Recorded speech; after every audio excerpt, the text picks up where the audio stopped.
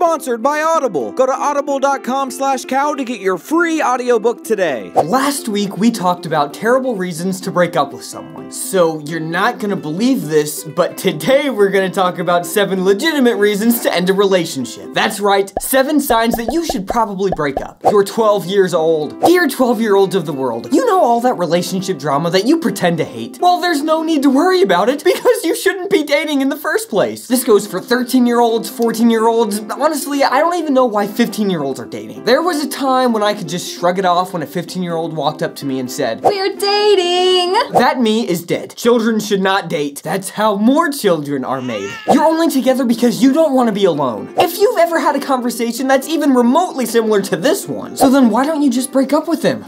It's better than being alone. It's time to break up. You don't communicate. If this is your entire relationship.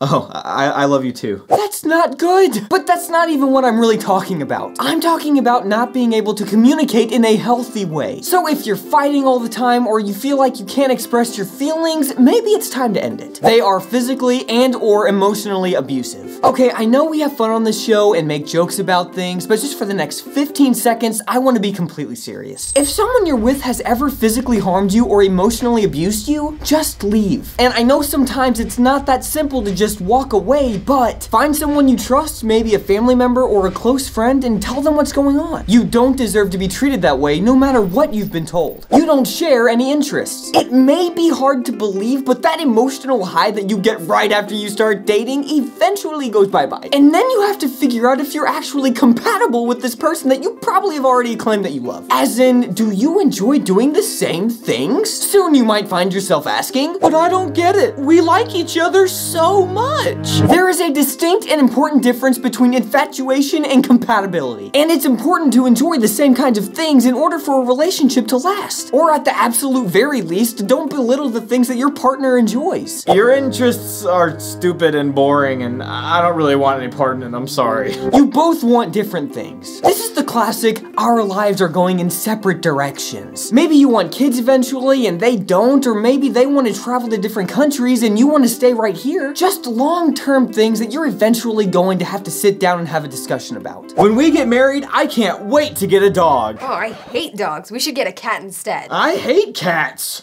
Oh. Uh, do you want to make out?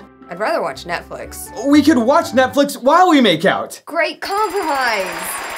Now, granted, the things people want can change over time, but you can't change someone. So if you're banking on them changing their mind about something in order for you guys to be compatible, it's not gonna happen. I mean, it might, but it's not. You can't see yourself together long term. This is the classic. Nah, man, we're just having fun. It's nothing serious. If you look off into the future and think, oh, yeah, you know, I, I don't really see this ending well, then why are you even together? Do you know how short life is? And it's only getting shorter with each GMO you put into your body. So look, Look, if you don't see it working out in the end, why waste your time? It's actually something I call delaying heartbreak, patent pending. That's actually the name of my post-hardcore band with emo influences too.